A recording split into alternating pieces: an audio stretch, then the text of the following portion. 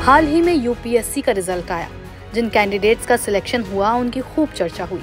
इस बीच एक घर की तस्वीरें भी वायरल हुई। बुलंदशहर में झोपड़ी किसी और की नहीं, बल्कि यूपीएससी पास करने वाले पवन कुमार की है। अस्थायी रसोई की छत, मिट्टी के चूल्हे पर बनता खाना और मिट्टी से लिपी हुई दीवारें। ये पवन कुमार के घर की है। पवन कुमार के पिता किसान हैं। घर का खाना माँ चूल्हे पर पकाती है। लेकिन ऐसा नहीं है कि घर में गैस सिलेंडर नहीं है। गैस सिलेंडर भी है और चूल्हा भी है। बावजूद इसके आखिर क्यों पवन कुमार के घर पर मिट्टी के ही चूल्हे पर खाना बनता है?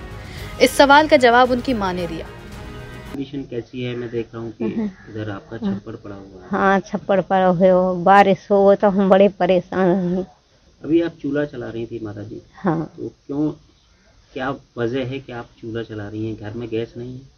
गैस नहीं है भरी हुई नहीं है पैसा की परेशानी है। पैसे की वजह से गैस भी। हाँ। तो इतनी तंगी के हालात में आपके बेटे ने पढ़ाई की कुछ बात बताइए किस तरीके से पढ़ते थे? वैसे ऐसे ही पढ़ते थे हम भी ऐसी मेहनत मजदूरी करे है। और क्या किसान है आदमी है हम क्या कर सकें? बस इतनी हमने मेहनत मजदूरी करके हम यहाँ तक लाए। बारिश के मौसम में भी आप इसी छप्पर के नीचे? हाँ इसी छप्पड़ के नीचे खाना बना गए हैं। पवन भी यही पढ़ाई करते थे हाँ। क्या दिनचर्या थी पवन की कुछ बताइए। हाँ? क्या दिनचर्या थी कैसे पढ़ते थे? बस ऐसे ही पढ़ते थे का नाम है अपने शांति माहौल में और अपनो शांति रखे घर में वो पढ़ता रहता था। आपके यहाँ इन्व- इन्वर्टर भी नहीं है ना, कुछ नहीं है। तो फिर कैसे पढ़ाई करते थे? मोबाइल से ऐसे ही पढ़ाई करते। पवन कुमार की माँ ने अपने पूरे संघर्ष की कहानी बताई। कैसे बेटे ने पढ़ाई की, मेहनत मजदूरी करके उन्होंने बेटे को आगे बढ़ाया।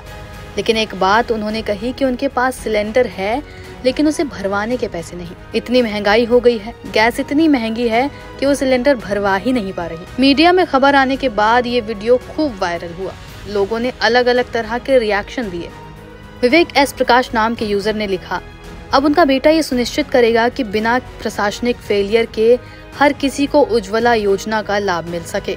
वहीं विजय सिंह नाम के यूज़र लिखते हैं, लेकिन मोदी जी तो सबको पक्का घर दे चुके थे ना। या हो सकता है मोदी जी इनको समझा ना पाए हों।